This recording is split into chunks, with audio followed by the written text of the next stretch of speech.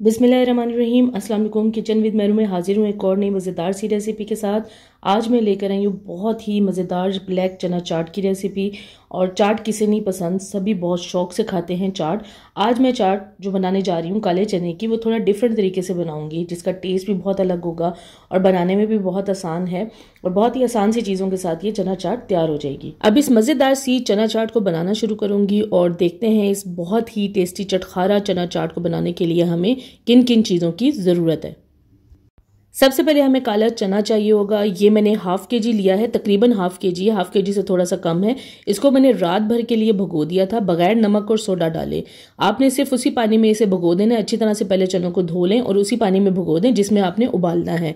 अच्छी तरह से चने भीगे हुए होंगे तो क्या होगा कि जब ये उबले हुए होंगे तो बहुत ही ज़बरदस्त किस्म के सॉफ्ट सॉफ्ट नरम नरम ये चने बनेंगे।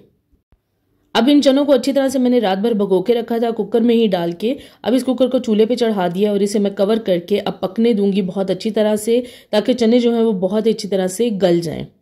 चना चाट में चने अगर अच्छे से गले में नहीं होंगे तो चाट का मज़ा करकरा हो जाएगा, इसलिए आपने चनों को बहुत अच्छी तरह से उबाल लेना है, ताकि अंदर से बिल्कुल सॉफ्ट सॉफ्ट नरम नरम हो जाए। उबले हुए आलू हमें चाहिए, दो से तीन अदद क्वांटिटी आप कम ज़्यादा कर सकते हैं। और इसके अलावा हमें दो अदद प्याज चाहिए होंगे, जिनको हम थोड़ा सा बारीक काट लेंगे।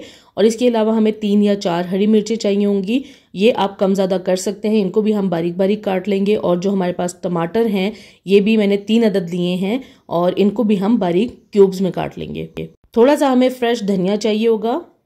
इमली का पल्प मैंने दो से तीन टेबलस्पून लिया है। आप इसकी जगह पे लेमन भी डाल सकते हैं और इसमें जितनी खटास आप रखना चाहते हैं चाट में उसके हिसाब से आप डाल सकते हैं। सॉल्ट हमें चाहिए हाफ़ टी स्पून आप नमक को हंसपे जायका रख सकते हैं। इसके अलावा हमें काला नमक भी चाहिए होगा। ये मैंने लिया है वन टी स्पून आपने एहतियात से नमक ऐड करना है।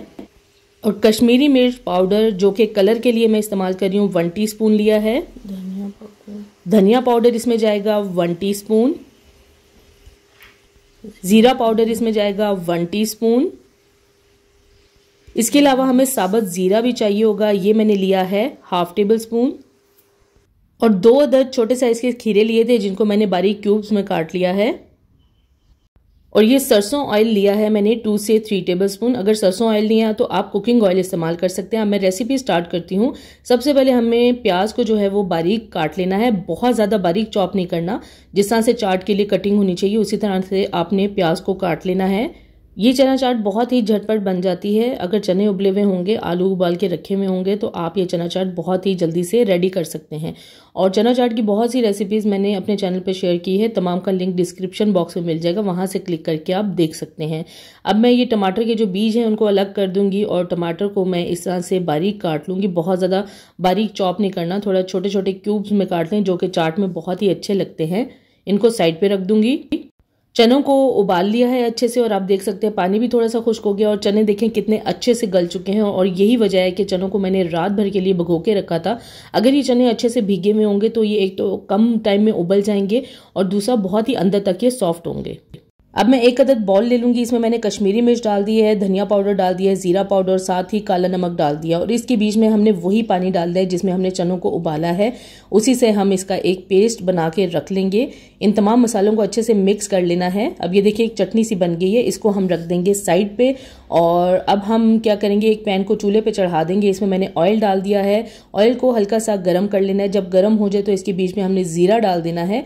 और ज़ीरा डाल के हमने हल्का सा इसे फ्राई कर लेना यानी हल्का सा ये करकरा हो जाए तो इसके बीच में हम डालेंगे वन टीस्पून चॉप किया हुआ अदरक। या आप अदरक का पेस्ट भी डाल सकते हैं, और इसको हमने फ्राई कर लेना है थोड़ा सा। थोड़ा सा फ्राई करने के बाद, हमने बहुत ज़्यादा देर तक फ्राई नहीं करना। फ्राई करने के बाद इसमें हम डाल देंगे ये पेस्ट जो हमने मसालों का बना के रखा था, और इसको अब हमने डालने के बाद भून लेना है, और इतना भून लेना है कि तेल अलग हो जाए। बहुत ही मज़ेदार चाट बनने जा रही है, थोड़ा डिफरेंट तरीके से बना रही हूँ। वैसे तो नॉर्मली चाट को कैसे बनाते हैं चने उबालते हैं और सब चीज़ें बीच में ऐड कर देते हैं। इस मसाले के साथ आप जब चना चाट बनाएँगे तो बहुत ही टेस्टी बनेगी। अब मसाले में से जो तेल अलग हो गया था, फिर मैंने इसमें ये चने डाले हैं। पानी समेत ही अपने चने डाल देने हैं और चनों को अपने हाई फ्लेम पे पका लेना है और इसका पानी खुश कर लेना है, बिल्कुल। अब चनों को देखें, पका रही हूँ मैं साथ साथ पानी खुश कर रही हूँ। चनों का पानी जो है काफ़ी हद तक खुश्क हो चुका है।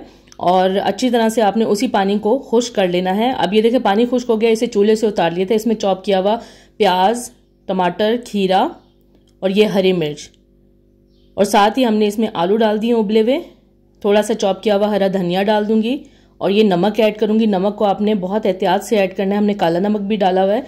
और ये जो इमली का पल्प है, ये मैं टू से थ्री टेबल स्पून डाल लूँगी। अगर आपके पास ये नहीं है तो आप इसमें लेमन जूस भी डाल सकते हैं। अब इन तमाम चीज़ों को जो है वो मैं बहुत अच्छे से मिक्स कर लूँगी। हमारी चना चाट तकरीबन बिल्कुल रेडी है और चने भी थोड़े थोड़े गर्म हैं। अगर चने थोड़े थोड़े गर्म रहेंगे तो ये चाट बहुत ही मज़े की लगेगी और अच्छी तरह से मिक्स करने के बाद आखिर में इसके बीच में मैं ऐड करूँगी चाट मसाला जो कि इसको बहुत ज़्यादा चटखारा बना देगी। और चाट मसाले की क्वांटिटी आप कम ज़्यादा कर सकते हैं। मैंने वन टीस्पून लिया, आप अपने हिसाब से डाल सकते हैं। हमारी चना चाट बिल्कुल तैयार हो गई है और इसे अब मैं डिश आउट कर लूँगी। गजाइत से भरपूर ये चना चाट आप भी आसानी से घर पर बना सकते हैं। खाने में बहुत ही टेस्टी है और आखिर में इसके ऊपर मैं बारीक चॉप किया हुआ हरा धनिया डाल दूँगी। आप हरी मिर्चें भी डाल सकते हैं। हमारी मज़ेदार काला चना चाट बिल्कुल रेडी है। आज इस वीडियो में आपको मैंने काला चना चाट की बहुत ही अलग रेसिपी बताई है। इस तरीके से भी आप इस चना चाट को ज़रूर बनाएँ, आपको पसंद आएगी और मुझे ज़रूर कमेंट्स में शेयर करें, ये वीडियो आपको कैसी लगी। अगर अभी तक आपने मेरे चैनल को सब्सक्राइब नहीं किया तो प्लीज़ मेरे चैनल को सब्सक्राइब करें लाइक करें शेयर करें और बेल आइकॉन को ज़रूर प्रेस कर दें ताकि मेरी आने वाली नई वीडियो का नोटिफिकेशन सबसे पहले आपको मिले। अल्लाह हाफिज़।